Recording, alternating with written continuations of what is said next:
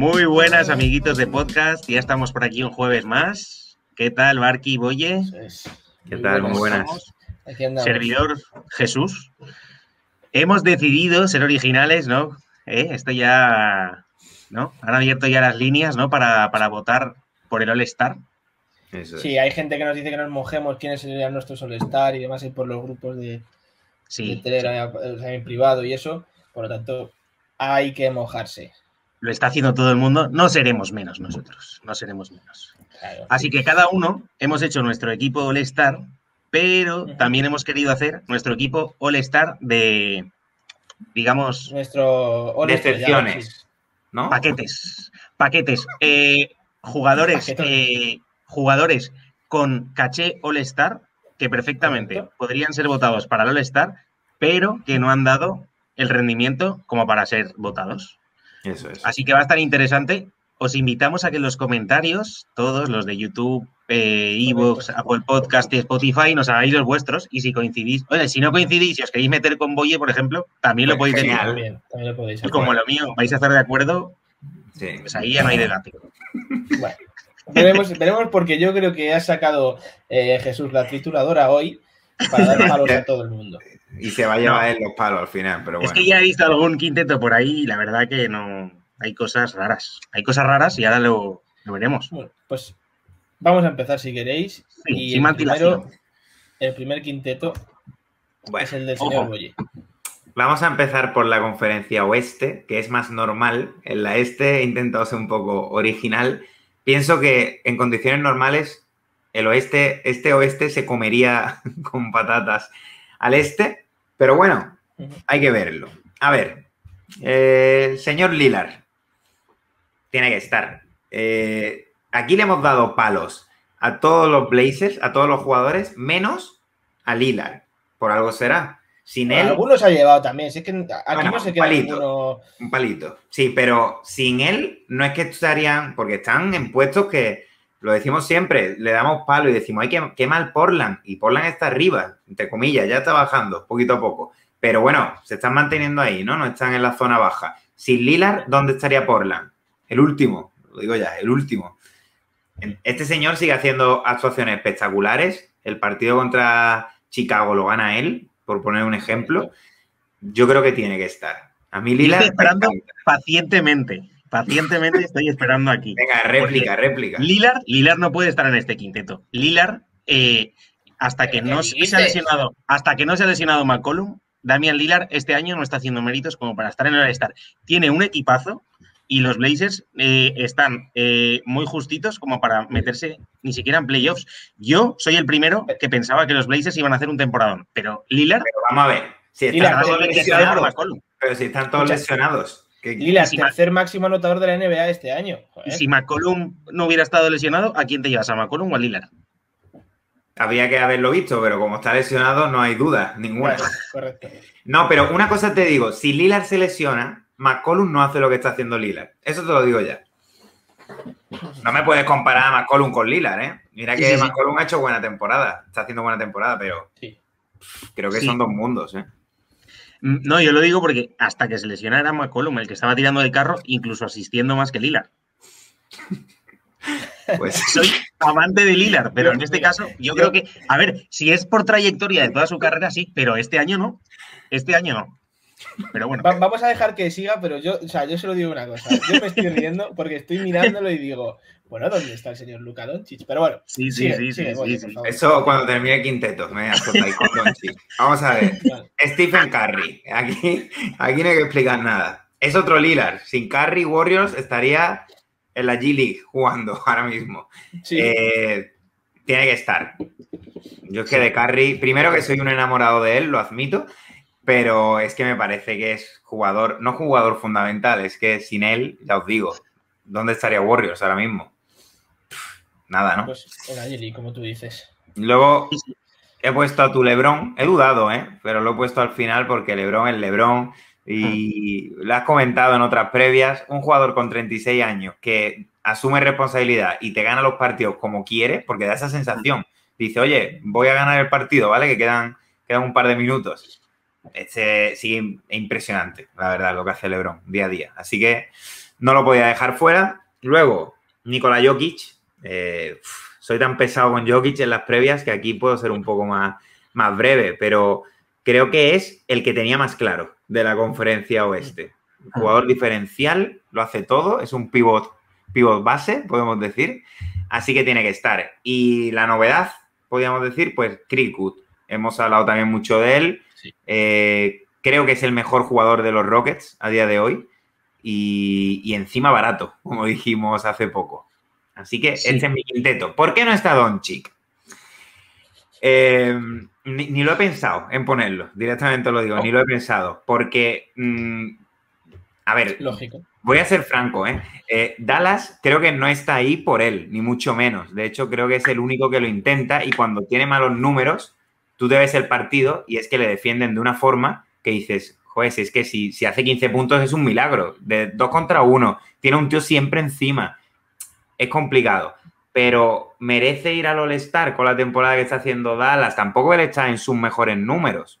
Mm, no sé, pienso que tiene que mejorar todavía el tiro de tres es una tontería quizás, pero yo creo que no. Creo que hay partidos que ha terminado con 0 de 6, 0 de 7. Son muy malos porcentajes de 3, sí, sí. Y, me he quedado con estos dos. Y no he tenido más dudas, los otros los veo claros. Así que ya está. Conferencia este. Aquí viene un poco novedades. Bradley Bill. Este Bradley Bill lo he visto y he dicho, y he clicado. No hay duda. Eh, la temporada de los Wizards, pues es la que es, pero este señor está haciendo unas actuaciones increíbles. Y además es que esto es muy curioso porque tú sabes que Bradley Bill va a meter 40 puntos, lo saben todos los equipos. Si lo sabemos nosotros, no lo van a saber los equipos, pero es que te los mete. O sea, tremendo. Bradley Bill. Esta, la diferencia, esta es la diferencia con, con, Lila, o sea, con Lila, perdón, con, con Doncic, que a Doncic lo defiende muy bien y se puede ahogar un poquito. y por mucho le defiendan, tiene el recurso de seguir anotando. Claro, además este puede penetrar fácil, te puede anotar de media distancia, anota los triples como si fuesen tiros libres, o sea, Mm, sí. Tiene de todo. Un super anotador solar. Totalmente. Jalen Brown. Eh, yo hablo mucho de Tatum en los Celtics, pero creo que el mejor jugador este año está siendo Jalen Brown. Para empezar, se quedó. Cuando se ha quedado solito, mm, ha sido el único que lo ha medio intentado. Es cierto que con más eh, fracaso que éxito, podemos decir, en los partidos que ha estado ahí solito. Pero también es verdad que es que Boston ha llegado con unas bajas, que es que tú veías el, plantel y decías, ¿cómo van a ganar? Este, este tío está en todos lados. Anota, asiste, rebotea, defiende. A mí me gusta muchísimo, ¿eh? Jalen Brown. Y ya, ya os digo que me gusta Tatum, pero creo que se lo merece, la verdad. Luego, caballito ganador. Yo si dejaba fuera a Grant, eh, no podía, no podía dejarlo fuera. Detroit está como está, esto es un caso Wizards, muy mal, pero ¿quién es el único jugador que además a mí me ha sorprendido mucho? Eh? Yo no esperaba aquí a mm. Grant. Lo vimos en los primeros partidos y decíamos, mira Grant ahí, pero es que se ha consolidado como el mejor jugador del equipo con diferencia. Y, bien, la verdad es que creo que se lo merece. O sea, a lo mejor no es por números en sí, pero creo que se lo merece, ¿no? Sí, por impacto en su equipo, pues sobre todo. Vamos.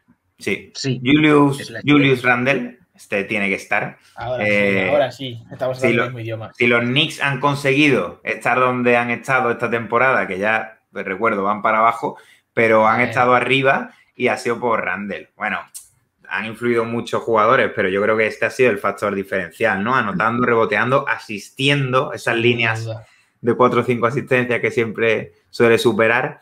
Así que muy bien. Y luego el gigantón yo aquí tenía que poner a Andre Drummond. Sé que no he puesto a Embiid, lo sé.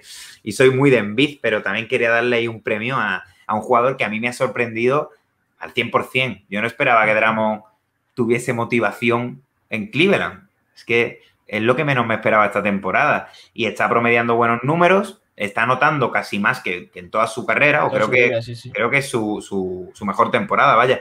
Y reboteando de una forma que no son números vacíos. ¿Cuántas veces hemos dicho, mira, Dramos ha pillado 20 rebotes y han perdido de 20 en el equipo que ¿Quién lo iba a decir esto a principio de temporada que ibas a poner a Drummond para no estar como eh, center? Me diría que estaba... Con la de palos que le ha ido a los dos, sobre todo. Pero son No me puedes decir que no. Total. Que si era un pilar ahí en medio, que si no hacía nada, que si solo quería hacer hinchar estadísticas. Bueno, bueno, pues ahí tiene los, ahí tiene los caps. Yo creí en ti, Drummond. Y eso que no te voy a poner en mi equipo de. Pues entonces, entonces no vale, no, tiene ninguna validez. Pero pues bueno. Ahora te toca, Jesús. Me toca. Bueno, bueno, creo que Clara, aquí no va a haber discusión por ningún lado. Estamos hablando de Don Stephen Curry.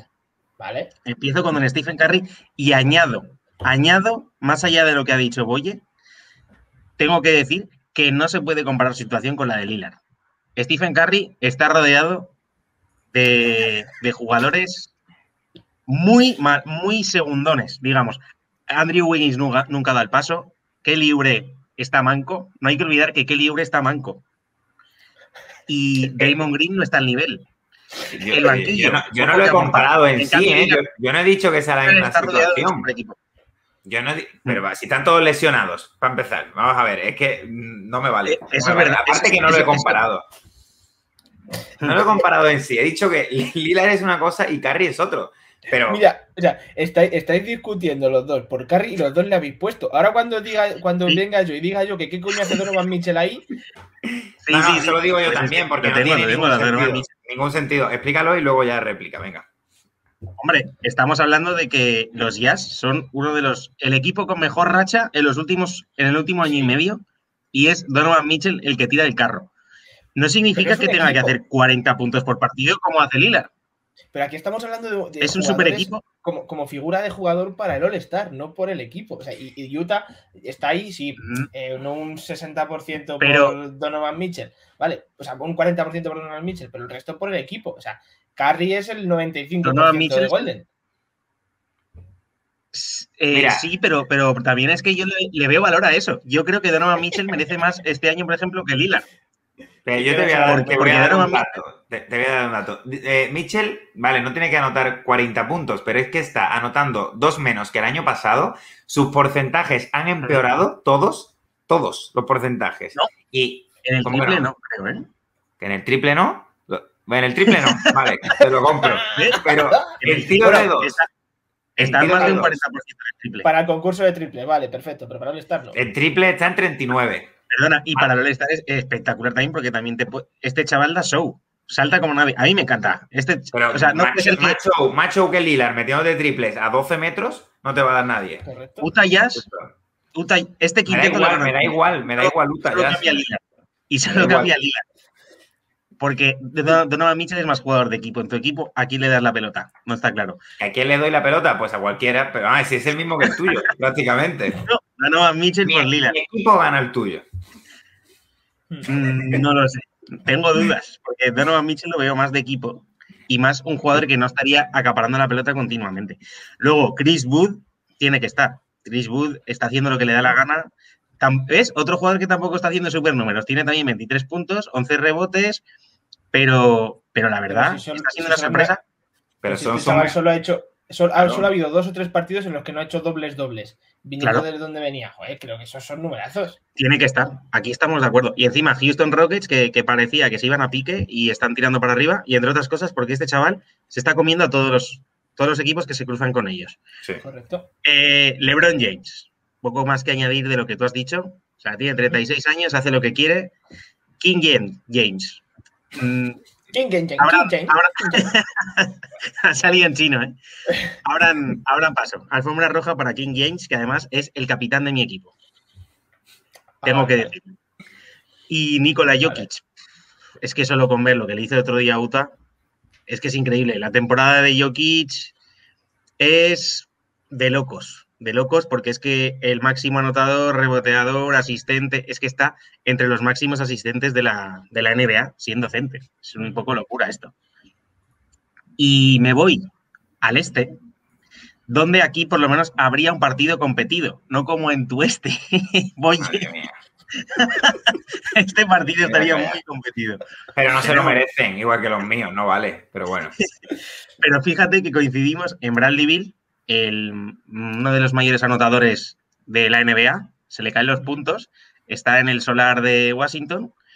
Luego tenemos a Jalen Brown, que este año, claro, me pasa como a ti, no he puesto a Tatum, Tatum ha estado un tiempo sin jugar, Jalen Brown no fallaba una, de hecho los porcentajes deben estar, no sé, un 60% o así de tiro, como empezó, empezó como un tiro. Y luego me he decantado también por Kevin Durant, porque es un poco.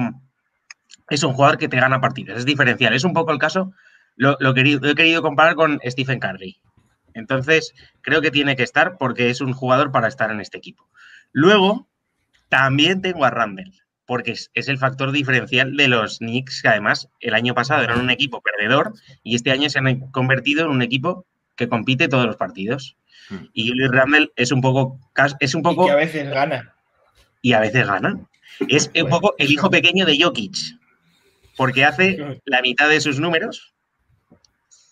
Y ahí está, ¿no? Va a mejorar. Va a venir Jokic a Nueva York. Ahí, palabras, palabras mayores, lo que has dicho, ¿eh? Sí, no, pasa? No quiero escuchar a Jokic en una frase con Randle, ¿eh? Lo siento. El hijo pequeño de Jokic. Y luego Envid. Pequeño, ¿eh? Envid, Envid tiene que estar aquí. Pero es que además Envid es el capitán. Envid es el capitán de, del equipo del este. Porque, porque, vamos a ver, se, está saliendo. Y los Sixers, cuando no están Envid, desaparecen. Por lo tanto, este es mi, quinteto del este contra mi quinteto del oeste, que esto sería un partidazo, ¿eh? No tengo claro aquí, yo no sé aquí quién ganaría, la verdad. Pues el equipo en el que esté Julius Randle, seguro. Seguro. Cuéntanos, cuéntanos tu equipito. Me toca. Yo me quedo con Don Stephen, Darren Fox, Christian Wood, Kawhi Leonard y Nikola Jokic. ¿Dónde está el Muy rey? sencillo. El rey en su casa estará. ¿No le has puesto, una, puesto una alfombra para que se vaya a casa? No, no, no. Bueno, para que sea capitán. Eh, nada, nada. Aquí mi, capitán o capitán es, es Jokic, que para mí es. Me voy a empezar por él. Yo simplemente digo que para mí, a día de hoy, es el máximo candidato al MVP de la NBA ahora mismo. O sea, yo si tengo que darle MVP ahora mismo a alguien en la NBA, se lo doy a Nikola Jokic. Este tío, o sea, no puedo tampoco agregar mucho más de lo que habéis dicho. Hmm. Así que ese es un seguro. Carry, eh, a diferencia de, de, Boye, yo no soy fan de Don Stephen, pero para nada me, esperaba la temporada que iba a hacer eh, después de todo lo que ha pasado, lesiones, el equipo que mm. tiene, que es, es Carry y cuatro jugadores más de por ahí, mm, no me lo esperaba, por lo tanto creo que se merece ir al All-Star. Eh, Daron Fox, el único argumento que tiene Sacramento para poder ganar partidos y para hacer algo. Le han firmado un contrato de estrella, por tanto tiene que estar en el All-Star. Me he arriesgado porque he quitado a algunos jugadores que, como Lillard, por ejemplo, que sí que podría estar ahí. Eh, pero me arriesgo con Daron Fox porque esto es raro. Hay que darle, hay que darle la, oportunidad, hombre, de, que esté ahí en, un All-Star. Me parece un superjugador de Aaron Fox, me encanta, pero no lo veo con méritos suficientes como para, como para ser titular en el All-Star. Yo digo que sí, lo dejo ahí. Kawhi sí, me gusta que alguien haya cogido a Kawhi. Kawhi por, por eso, o sea, un, tío que llevó a una franquicia entera a por el anillo y que ahora está en Clippers peleando y que es que simplemente hay que ver el otro día contra el otro partido, el otro día en el partido contra los Knicks, cómo se echa el equipo a las espaldas y se pone él a anotar porque estaba costando a, Clippers un poquito y tal, se empieza a notar y es que es imparable. Por lo tanto, tenía que estar ahí. Y Christian Wood, que es mi, mi último jugador en este quinteto, no voy a añadir nada más. Casi haciendo dobles dobles todos los días, una, una maravilla. Luego, eh, aquí en, el, este, Bradley Bill, Malcolm Brogdon, Kevin Durant, Julius Randle y Joel Embiid. Coincidimos en Bill y Randle. Brogdon, eh, lo he puesto ahí, ¿por qué? Porque llevo dando por saco con Brogdon desde el primer día en Indiana. Mm. Eh, es un tío que para nada me esperaba estos, estos números este, este año. O sea, 22, o sea, 23 puntos por, por partido, un 46% en el, en el tiro, un 40 desde el triple. Eh, creo que desde que eh, ganó el, premio a Rookie del año, no habíamos vuelto a ver a un Brogdon tan, con tanta chispa, ¿sabes? Sí, el año pasado empezó muy bien y luego se apagó. Y este año parece que mantiene el nivel, por lo menos, tanto en anotación como a la hora de repartir juego. Indiana Pacers se nos está cayendo un poco últimamente en los últimos partidos. A ver si consiguen sacarlo adelante entre Brogdon y Sabonis. Correcto. No me disgusta. De hecho, solo, cambiamos Brogdon por. ¿Quién he puesto yo aquí? Jalen Brown. Jalen Brown. Jalen Brown. Hmm. Y luego, Durante es que está siendo, eh, creo que es el jugador, el, sí, detrás de Bradley Bill, de toda la liga que más puntos mete, 31 puntos por partido, con un 52% en el tiro, que es una barbaridad, ah. un 45 desde el triple, 7 eh, rebotes, 6 asistencias, casi un robo, un tapón y medio por partido. Eh, tampoco he sido fan nunca de Durant, y mira que me jodió que se fuese a Brooklyn, ¿eh? Pero es que no me queda más que aplaudirlo, tío. Tiene que estar, sí, además dos años sin jugar. Está. Y luego yo el Embiid, pues ya está. Si Filadelfia sin Embiid no es Filadelfia. El otro día ganaron, pues no sé, se alinearían los astros o no sé qué pasaría, pero ganaron. Así que yo creo que realmente luego ya nos ponemos ahí. ¿Eh? Mis capitanes, pues en el este, evidentemente, Julius Randle siempre a la orden. Eh, sí, y, en el oeste, pues el Joker. El Joker, le tengo que dar el brazalete al Joker porque por eso, por el MVP que va a ganar este año. Así que no sé, yo creo que aquí veo un, partido con, jugadores que tienen mucho de demostrar, como por ejemplo Fox y, Brogdon. Duelos, muy bonitos, Leonard Durant, Christian Wood Randall, David Jokic. A Fox lo iba a meter, ¿eh? pero me daba cosa quitar a Lillard, pero se lo merece también, ¿eh?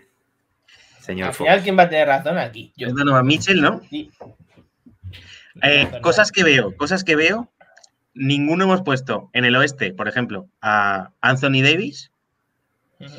Y en el este ninguno hemos puesto a Antetokounmpo, el ex MVP. Y ex el actual MVP. Bueno, el actual MVP, y ex capitán del equipo de el Team Yanis. De hecho, Team Yanis se llama.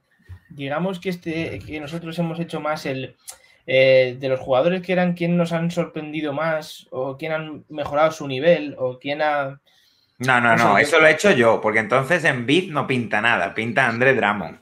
Tendría que haber por puesto favor, Por favor, pero si estamos ante la temporada más, este enorme de Envid. Mira los números de Envid. Oye. Lo cambian. Nada. Oye. Lo cambian. Aquí sus solteros contra casados. Lo voy a mirar, de hecho, vaya. Espérate. Lo es un soltero contra casados. sí, cambian un poco. es el partido que va después. Cambian un poco, ¿ves? Es que se está quedando argumentos. Pero y los de Dramon, que va, que va, que va. Señor André Dramon, tío. Bueno, tenemos, también los equipos estos. Eh, los, eh, eh, aquí va a haber también, aquí el juego, porque hemos hecho los mejores. Yo creo que la gente tiene que estar de acuerdo que todos los que hemos puesto han hecho méritos para estar entre los buenos. Y ahora, entre los jugadores que tienen capacidad para ser All-Star, pero que no están haciendo nada. O sea, vamos, que no están, no nos están, no están mereciéndolo, para nada. Oye, te toca. Venga, vamos a empezar otra vez por la conferencia de nuestro amigo Ricky Rubio, que es el primero que he puesto ahí, con todo el dolor de mi corazón, pero Ricky Rubio tiene que estar aquí. Tiene que estar aquí porque sí, puede que no esté motivado, que tenga jugadores al lado que sean chupones. No puede, es que es así, pero no quita que tú no estés dando un nivel aceptable. Ya no me meto en mejor, peor, es que el nivel que está dando Ricky no es bueno. Nosotros decíamos, oye, a ver si es titular y así va a cambiar todo lo de Minnesota no, no va a cambiar porque tampoco es que él esté haciendo buenos números. Entonces, este me duele, la verdad, me ha dolido ponerlo, pero intentamos ser objetivos, ¿no? Por mucho que sea nuestro Ricky, pues tiene que estar aquí. El siguiente, aquí no he tenido dudas, porque a mí es un jugador que me encantaba y Gigi Reddick está haciendo una temporada, eh, no sé ni cómo calificarla, eh, es... lamentable. O sea, promedia 7,9 puntos, es decir, nada, 7,9, jugador que tendría que ser el, triplista, creo yo, del equipo, y venía promediando 15,3, es decir, ha bajado pues, más del doble su rendimiento.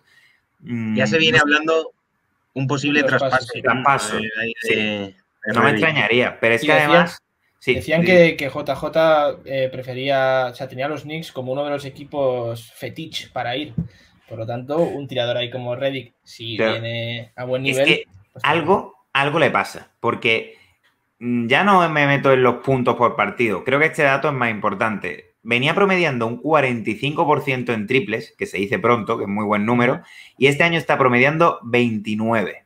O sea, mm, solar Reddick, total.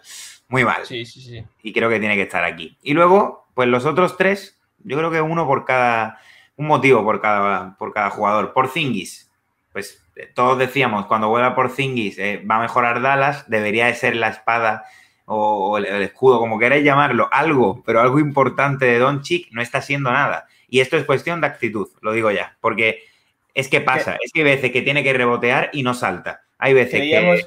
Sí. Creíamos que iba a ser el eh, Rocinante, pero al final no llega ni, al burro de Sancho Panza. Sí, sí, sí. o sea, no. No, ha hecho algún partido bueno, pero no vale. De todos estos que tú estás poniendo en este equipo, probablemente el que más capacidad tiene para, o sea, para estar en la lista. Correcto. Sí, totalmente. Luego, Covington, es verdad que me extrañaría verlo en un All-Star, pero es que lo que está haciendo en Portland, un jugador que, primero, ya no me meto en su capacidad de ataque, pero bueno, es un jugador que te da siempre 10, 12 puntitos muy buenos y promedia 6, 6,5 puntos. O, traducido, nada. Y encima este jugador se supone que ha venido, porque lo decíamos en las previas en todo, para defender, para apretar en defensa y Portland eh, puede ser el mayor colaero de toda la liga. Entonces, este a mí personalmente me ha decepcionado mucho, mucho. Pero bueno. Y luego el otro, el señor Draymond Green. Como estoy cansado de decir en las previas que espero más de él, pues dicho, pues lo meto aquí directamente. Draymond Green, eh, cuando está bien, Golden lo nota muchísimo. Hemos hablado de Stephen Curry, que sí que es un factor diferencial, pero Green lo que te aporta ya no en números, sino en todo y en, actitud. No en la actitud eh, violenta que, estamos acostumbrados a verlo. No, no, actitud de... Pues, a mí por eso no me parece justo que le pongas en este equipo. Yo tampoco lo creo. Porque en cuanto a, en cuanto a actitud y cuanto a lo que le da a la defensa en intangibles al equipo de Warriors. Sí, pero. Un abismo cuando juega o cuando no juega no, no, si el equipo cambia cuando, cuando juega o no juega, pero yo creo que hay que pedirle más. Y aunque yo nunca miro sus números o intento no mirar sus números, que un jugador como Draymond Green promedie cuatro puntos, cuatro. Es que, no sé, me parece que para que Golden diese un pasito más, este jugador tendría, que, tendría, que, avanzar. Eh, por esa sería Margasol también podría estar, entonces. Mm, creo que no, es comparable. No, no te lo compro. Este Margasol está ya de, retiro. Margasol está ya de. De retiro. No, pero te da muchas cosas en defensa. Entonces, esto es injusto. Sí, pero. Yo también creo que es injusto. ¿Cuánto juega? Injusto. ¿Cuánto juega? Bueno, primero la edad. Yo no sé cuánto tiene Draymond, pero tendrá 29, 30 años. Gasol es ya un, un viejete. Y, y, este. No, y yo no, digo, yo no quiero decir que, que Margasol merezca estar ahí. Digo que tu comparación es un poco tu comparación va un poco así. No, pero yo lo que veo es que este tiene que ser titular sí o sí y un jugador titular sí o sí que te meta cuatro puntos. Es que, no sé, me recuerda a un PJ Tucker. No sé. No. De, del oeste de Patanes? ¿De gente de excepción? ¿El qué? ¿El qué? Capitán de tu equipo de, equipo este. Por Zingis es el más claro, el primero que, he pensado. Y luego aquí en el este, pues Van Blit, es que ya de Van estoy cansado de hablar. Eh, es cierto. hay, un dato que, a mí me lo he visto antes y me ha dejado un poco tocado de la cabeza. Van promedió el año pasado 17 y pico puntos y este año está promediando 18 y pico. O sea, es el mejor año, entre comillas, en números. Pero creo que con el claro, tiene que. Primero, tiene que ser el jugador diferencial de, Toronto, yo creo que así lo, entendemos y, no vale con 18 puntitos. Aparte partidos muy, muy gris en los que no aparece, no sé, y este sí tiene capacidad, o sea, estoy convencido para, hacer lo que quiera. Luego he metido al amigo de Bonterahan, que últimamente está despertando, pero este jugador ha dado un bajón, yo creo que puede ser el que más bajón haya dado de, de todos estos, porque venía siendo el jugador más importante de Charlotte y yo creo que lo comentamos, que, que estaba en un veintipico por ciento en tiros. Mm, ¿Qué le ha pasado a Devonte? No sé. Mm, últimamente está mejor, ¿eh? Tengo que decir que los últimos partidos no, no está mal. Mejora un poquito, sí. Sí, pero, pero un poquito, exactamente. Luego, otro de Toronto. Tengo que meter aquí al pecho frío de Pascal Siakam, porque sí, te hace un partido de 30 puntos, pero se tira una semana de vacaciones. No sé, yo creo que es verdad que a lo mejor es azotar mucho a Toronto, meter aquí a dos. Recuerdo que creo que también los puse en, el, que hicimos de, decepción. Pero, es que son dos decepciones. Y si los dos estuviesen finos, Toronto estaría arriba en la conferencia oeste. Arriba me refiero top 5, fácil. Luego, Blake Griffin. Este es otro, ¿no? De los que comentamos. A, ver si aparece Griffin hoy, a ver si no aparece. Pues no suele aparecer. Aparece una vez cada 15 partidos. El señor partido, recuerdo bueno de él este año. Sí, tuvo uno, muy bueno. Pero, claro, si te acuerdas de un partido, eh, mala señal. Eh, mala señal, la verdad. Y luego he metido ahí un partido cobrando lo que cobra, ¿sabes? Perdón, que no, que tendría que ser mucho más, tendría que influir mucho más. Hemos hablado antes, he hablado de Jeremy Grant, que lo está haciendo genial, y tiene al lado a Blake Griffin, que tendría que ser más decisivo. Y... Parece su, abuelo, su tío abuelo. Sí, más bueno. Y luego he metido a Tristan Thompson. Em, vamos a ver. Yo creo que este jugador tenía que marcar la diferencia en Boston. Tendría que ser el, el center titular sin ningún tipo de dudas y no me está gustando nada como lo está haciendo. Y además esto se lo he leído a gente muy, muy de, Boston. Vamos a explicarlo. Es verdad que no está jugando lo mismo que jugaba en, en Cleveland, porque tiene que compartir minutos y tal igual, pero si veis sus números no son para nada buenos y si veis sus partidos es un fantasmilla. O sea, entran en la zona de Boston como el año pasado. Y yo decía este año, oye, es un, me, pareció un fichaje súper interesante porque decíamos, oye, a Boston le falta rebote, le falta un tío que coja 15 rebotes por partido. Pues al final le han quitado el puesto, está jugando, pero está jugando 22 minutos por partido. Y yo me esperaba que este llegase para jugar 35, 36 minutos y cogiese 15 rebotes. Al final está jugando 22, está cogiendo 8 rebotes y lo peor, no me gusta cómo está defendiendo. No hay defensa, no hay defensa con Tristan Thompson y este tío tiene que imponerse ahí tiene que ayudar a Tatum. Vino para eso, prácticamente. Vino para eso y. Sí, sí, se queda un equipo ahí bien. No sé, ¿a quién poner de capitán de capitán de aquí? Van Blitz. Le hemos dado tantos palos que lo tengo que poner de, capitán. ¿Y quién ganaría este partido? Pues yo creo que el este, ¿no? Yo esperaba que me tiras más palos aquí, ¿eh? Yo esperaba más palos. yo voy a sacar la guadaña. Voy a sacar la guadaña. Ahí está la guadaña. Madre mía. Pero bien sacado. Yo meto de base, voy a poner a, a D'Angelo Russell. Vale, D'Angelo Russell, ¿por qué? Porque no me está gustando nada temporada. Está en el equipo, probablemente, esto que es el peor equipo de, la NBA del momento, los Minnesota Timberwolves, podemos decir. Igual no por números de partidos ganados y partidos perdidos, pero el, equipo que menos cosas nos está dando. D'Angelo Russell está en promedios de 18 puntos por partido. Esto, esto es una burla para cualquiera para cualquiera que vea el contrato que tiene este chaval, esto es una burla. Se está burlando de todos nosotros. Y sobre todo, se está, esto está influyendo mucho en Ricky. Porque claro, está en un equipo que, podría, si él fuera el base titular, yo creo que ese equipo iría más. Y D'Angelo Russell, incluso si lo tuviera al lado, también podría ir a más. Luego me quedo con... Mm. Yo, Yamal Murray, la temporada de Yamal Murray también es para hacérsela mirar, ¿eh? Sí. Otro jugador que gana un montón de millones no está siendo en ningún caso, si los, si, si los Nuggets han tenido tantos problemas al principio, entre otras cosas es porque Jamal Murray no está siendo para nada el escudero que necesita eh, No es el Jamal Murray de la burbuja.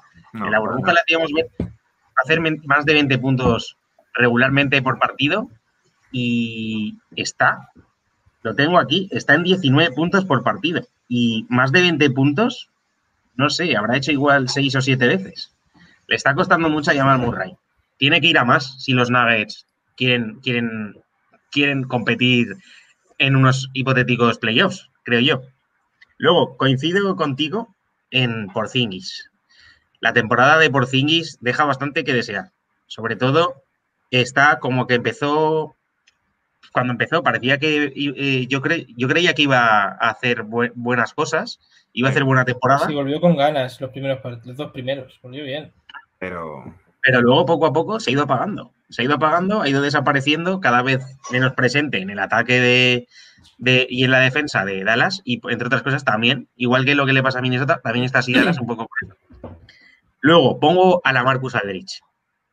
La Marcus Aldrich ya de capa caída, eh, muchos eh, centers le están haciendo lo que quieren, le están bailando como quieren en la pintura y pero, pero a ver, yo aquí voy a decir una cosa. No te puede haber decepcionado Aldrich porque a principio de temporadas decíamos, este ya, capum. Sí. Sí, pero no esperaba que no hiciera, o sea, que, verle tan inferior. tan inferior. Y tengo que decir que yo soy muy Yo era muy, yo era muy de, jugar con Portland Trailblazers al, al 2K cuando estaba Aldrich. Yo también, me encantaba. Me, fastidia tener que ponerlo en este equipo, pero Aldrich, lo siento. Poeltel te está comiendo la tostada. Jacobo, Creo yo, ¿eh? Jacobo, le está comiendo la tostada. Y me quedo por último. Aquí me podéis decir lo que queráis. Pero Nurkic, la temporada de Nurkic hasta, hasta su lesión. Yo no te voy a decir nada, ¿eh? Era pésima. Pésima. yo estoy de acuerdo. Eh, ni o sea, en dobles dígitos ni siquiera de puntos. Creo que eran nueve puntos, ocho rebotes. Por, favor, por favor, estamos hablando de un center que tiene que ser dominador. Y estaba siendo todo lo contrario. Entonces, y, una cosa, y, una, y una cosa más, ha hablado de puntos y tal igual, en defensa, que es donde se notaba más cuando el año pasado estaba Whiteside y entraba Nurkic, cambiaba totalmente. Y este año, nada. Por lo tanto, creo que he metido a gente buena que merece estar en este equipo. Lo siento mucho, pero lo merece. Y mi capitán es Jamal Murray. Está en un equipo que tiene que aspirar a ganar la NBA perfectamente y desde luego si sigue así no va a ningún lado. Me voy con el este. En el este también vamos a ir. Meto a. Empiezo con Russell Westbrook. ¿Cuánto gana Westbrook? Eh, 40 millones por ahí. Más que nosotros con la web gana seguro. es que hasta Billy que cobra el mínimo gana más que nosotros. Joder. Eh, yo creo que Westbrook esperábamos. Eh, yo puse a los Wizards en octava posición del este porque llegaba Westbrook, entre otras cosas. Y es que Westbrook está en el peor año de, creo que de porcentajes de tiro. Me da igual que esté cerca de promediar un triple doble, me da absolutamente igual si no está tirando bien y encima su equipo no juega nada, no defiende, va alocado, porque está. El, Wizards ya era un equipo así, pero si llegas para solucionarlo y encima la fastidias más aún, mal asunto. El partido contra Nets, pues claro, en, en, el caos se mueve como pez en el agua, pero entre el caos no vas a ganar siempre. Es un poco complicado. Por lo tanto, Westbrook justo que esté aquí. Son cuarenta y pico millones, ¿eh? ¿No? o casi muchísimo dinero. Luego, Ben Simmons. Ben Simmons tiene que estar aquí. ¿Por qué? Vale. Porque es un. ¿Qué hace? O sea, estamos hablando de un tío que perfectamente puede ser votado para el All-Star. Un tío que lanza solo nueve veces, a, nueve veces a canasta por partido, aun cuando no, es, aun cuando no está en bid, y que, y que no sabe tirar ni triples. Es que no, no. Y además, yo creo que es un jugador que es posible que hace tres años fuera mejor de lo que es ahora. O a mí me parecía eso. Me daba más miedo hace tres años que ahora. Sí. Entonces, a mí me da, esa sensación también. Claro, y cuando no está en bid, ves que tiene que tirar un poco más del carro y ni siquiera es él. Por eso he puesto. Yo creo que Tobías no es justo que esté aquí. Tenemos ahí algunos, no sé si habéis dicho Tobías, pero. Yo no lo he puesto al final, ¿eh? Ben Simmons tiene que estar aquí antes. Luego, Galinari. Galinari, por favor. Esto. Esto no, vaya, no lo vas a vender ni, nada. Imposible. dale, dale, porque, Galinari eh, en verano dijo, no, que yo voy a firmar un contrato para ganar, eh, para no voy a no a primar el dinero al, a, ser, a ir a un equipo competitivo. Pues mira, el señor se está embolsando, es el que más gana de, Atlanta, si no recuerdo mal, creo que son 22 millones de dólares al año, y ha jugado 8 partidos. 8 partidos, que le duele el tobillo. Lesionado. Le duele el tobillo. Si te duele el tobillo, no. Ya, ya Lebron y a David la pantorrilla todos los días y no te quejas. Pero juega, pero juega. Y 15 minutos por partido, Galinari, ¿eh? 15 minutos solo por partido. No, no. Desde luego está para mucho más. Y es otro jugador que considero que si estuviera al nivel, podría ser titular en Atlanta, incluso ser votado para el. Imposible que te compre a un tío que ha jugado 8 partidos. Imposible. Es. Caso similar a Nurkic en, el, oeste. Bueno, Nurkic ha jugado 12. sigue ah. con Middleton, que ese también tiene Middleton. Middleton me pasa lo mismo que con Jamal Murray en, Denver. Chris Middleton de los de Milwaukee Bucks.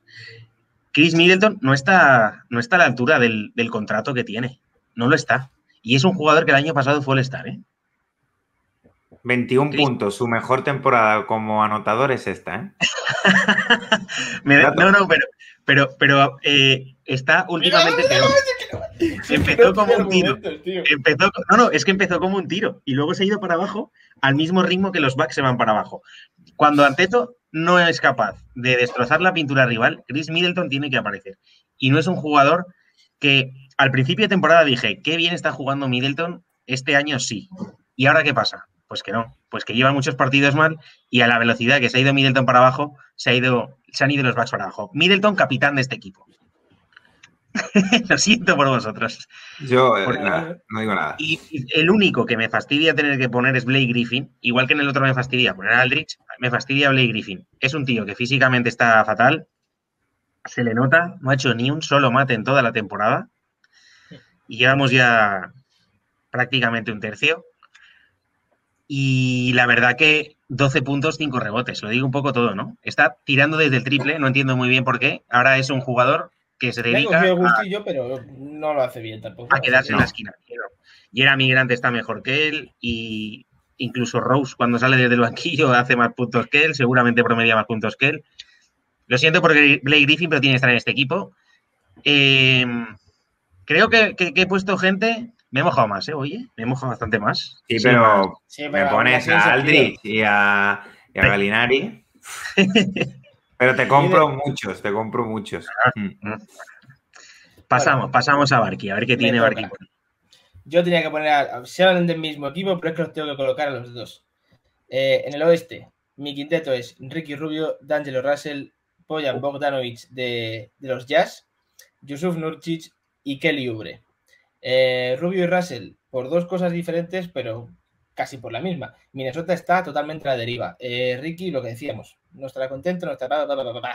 vale, pero es que esos números no son justificables. O sea, peores números de, lejísimo, seguro. Y luego, D'Angelo Russell, lo peor de todo es la, actitud. Eh, eso de, ¿Qué es eso de que te llegue el balón y que ni mires a tus compañeros siendo el base de tu equipo y te fumes tú el tiro porque te apetece? Sí, hombre, si me dices que metes el 60% de lo que tiras, pues te lo compro. Pero no es así. Em, luego, este que puede traer un poco más de cola, Bogdanovich. Eh, es cierto que ya va retomando un poquito el ritmo de competición, pero es un tío que el año pasado eh, estaba en veintitantos puntos, creo que era el máximo anotador de Utah Jazz, y, llegó esta temporada y a verlas venir, a, ver qué hacemos. Ha venido una lesión, sí. Pero ha venido una lesión y tal, que es justificable, pero bueno, yo lo pongo ahí porque esperaba mucho más de este, de ese señorito. Kelly Ubre, viendo el año pasado que se hizo en Phoenix, digo, va a llegar a Golden, aunque no se metan en playoffs, pero va a ser, va a ser una, buena, una buena temporada. Pero nada de otro mundo, es el amigo favorito de Jesús, siempre troleando, eh, no mete ni un triple, tiene que estar aquí, pero vamos, de los primeros.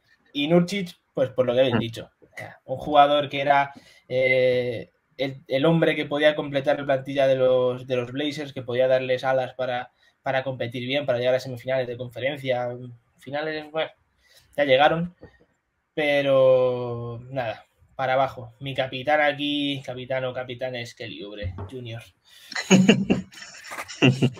luego nos vamos, luego nos vamos al este, en el cual he puesto a, a Devonte Graham, a Tyler Hero Pascal Siakam, Griffin y Collins. Eh, ¿por qué? Porque es que como cuando vimos la, temporada que hizo, o sea, los partidos que hizo la burbuja, digo, bueno, el año que viene All-Star, al concurso de triples, al de habilidades, eh, al de rookies también, o sea, va a ir a todo. Y, va, pero ¿dónde está Tyler Hero? No, mm. dirían. No, está, no está, no está. Es verdad, merece estar ahí. Yo creo que Pero gana poco. Eso le sale algo. Sí, eso también, pero aún así, eh, yo el pensamiento que tenía sí, sí, pero era eso, que, iba a despuntar muchísimo más. Se tirara del carro, sí, sí, sí. Y, ojo, eh. que sin Jimmy Butler desapareció en combate también, durante muchos partidos. De Monte Graham ni lo voy a mencionar, porque ya sabemos lo que hay de él. Siakam también lo habéis hablado bastante vosotros. Eh, Griffin es eso, eh, con el contrato que, tiene, con la experiencia que tiene, se supone que, aunque sea la figura eh, del equipo de Detroit Pistons, tiene que serlo. Aunque luego sobre la pista este es un pasito atrás porque tienes jugadores mejores y más jóvenes, pero debería ser la figura. Es que no es ninguna de todas esas cosas. Es que en algunos partidos, en algunos partidos es un lastre. sí y choca, choca verlo como lastre. A mí me choca, por lo menos, porque a mí me encantaba, tengo que decirlo. Blake Griffin cuando estaba en su, en su prime, pero lo, hemos puesto los tres, ¿eh? Así que si lo ponemos los tres, que no nos copiamos ni nada, hay que decirlo, que cada uno hace el suyo. Mm, mm. Sí. Lo descubrimos aquí para que la gente lo sepa, ¿no? No teníamos ni idea de lo que ponía cada uno. Eso es. Correcto. Y luego, para, acabar, eh, Jesús ha puesto a Galinari, que se le ha venido así a la cabeza porque sí. Yo pongo a John Collins con fundamento. Con fundamento. Este tío. Este tío sí que ha sido un verdadero lastre en algunos, en algunos momentos de, la, de algunos partidos, algunas semanas, ha sido un lastre para Atlanta. O sea, Collins debería estar ahora mismo siendo realmente la estrella contra Young y, y no, iba, no voy a decir Kobe Isaac, pero casi. Deberían ser ahí. No sé si tanto como para lastre. ¿eh? No, sé si tanto como para lastre. Mira, eh, te lo puedo comprar por sus propias palabras, porque creo que metió la pata cuando eh, se empezó a hablar de que podía estar descontento contra Jones porque él quería un máximo también, tal y cual, y este jugador no ha demostrado nada para merecer un máximo. Pero lastre no me parece, o sea, me parece un buen jugador. Pero es verdad que eh, ha sido un poquillo, se le ha ido la boca, la verdad, más de una vez. Hmm.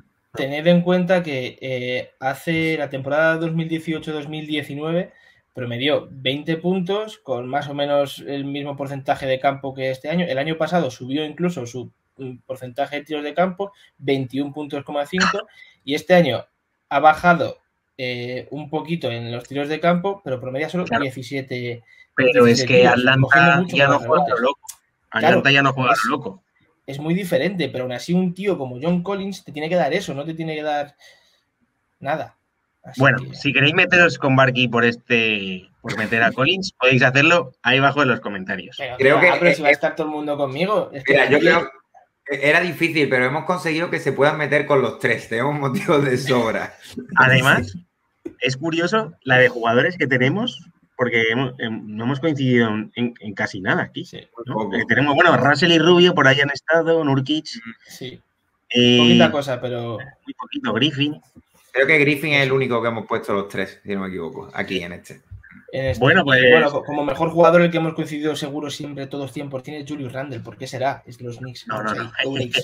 Pensaba que iba a decir Jokic, iba a decir, sí, sí, sí. Jokic. Bueno, pues. Eh, Yo creo que ha quedado bien la cosa. Sí. La gente, por favor. Se nos ha alargado un poquito, pero bueno. Sí, se nos ha alargado. Se nos ha alargado bastante, claro. Os gustan nuestras caras. Sí, es que voy a dar mucho que hablar hoy, la verdad. Eh, solo con su primer yo, yo, sabía que al ponerme el primero, digo, ¡pum! ¡Hala! Ya está. Tenía que haber puesto así por sorteo, ha tocado así. De todas formas, ya sabéis, amigos de podcast, YouTube, eh, si os ha gustado, eso, me gusta, eh, suscripción y sobre todo comentadnos los vuestros, comentadnos los vuestros, vuestros equipos, vuestros quintetos, porque, bueno, ya hemos visto nosotros si teníamos ahí diferencias, ¿eh? Entre, sobre todo en los últimos. Sí, hay muchas variantes. Veremos. Y con ese nuevo All Star, All, Estrellados, podéis sacar también muchos por ahí vuestro hate hacia jugadores específicos. Así bueno, que, pues, bueno, gracias. Tendremos el jueves que viene tendremos video podcast también. Bueno, la semana que viene tendremos video podcast. Así que gracias por acompañarnos en otro capítulo. Chao. Chao. Chao. Chao.